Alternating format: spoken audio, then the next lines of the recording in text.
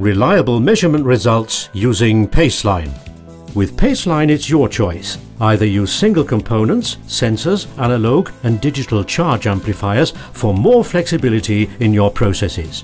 Or rely on the complete calibrated measuring chain and start measuring immediately.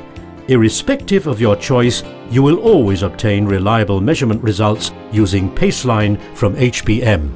In which areas is CMD 600 used?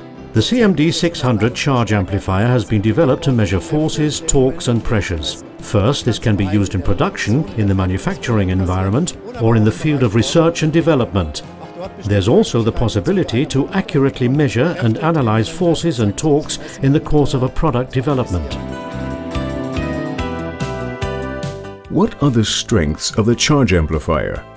The CMD 600 charge amplifier has an extremely fast signal output with a bandwidth of up to 30 kHz. With it we can measure and record very fast signals and transmit them to a controller. The device has an interface output. Here we can stream signals to a controller or a facility via the built-in Ethernet interface. The unit also features both centralized and decentralized intelligence, which means we can record measurement and peak values and pass them on to a control via limit values. With this, a production process can be controlled intelligently. The device also has digital inputs and outputs. In this way, the device remotely controls or also passes on other functions to a controller.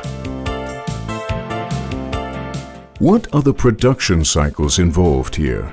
Here you can see the reproduction of a test cycle of a running production. Tested are controls such as window lifts, switches or even parts of the cockpit interior from a running production. We see here in front the sensor for detecting the probing force.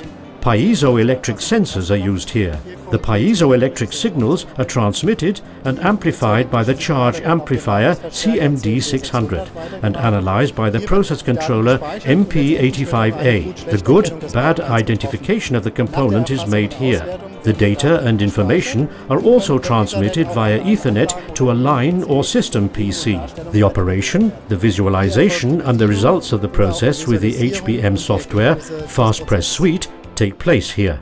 What are the potential disturbance variables and how does the system respond to them?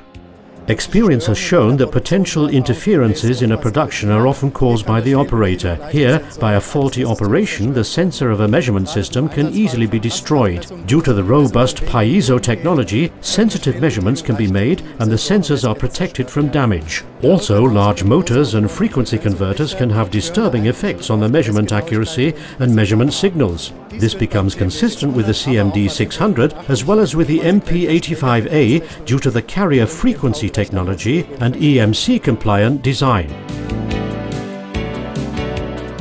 What are the benefits for the user by the use of HBM? By the use of HBM measurement technology, the user obtains highly accurate, reliable measurement values in his production. With this, he can judge the quality of his specimens more efficiently and increase his production volumes. Downtimes are thus avoided and the service can be selectively controlled. This is done through preventive maintenance, in which we already show the wear of tools before the actual interference can take place. Your advantages. Seamless documentation of your production data protection for your machines and tools, production monitoring in real time, predictive maintenance as a preventive maintenance strategy.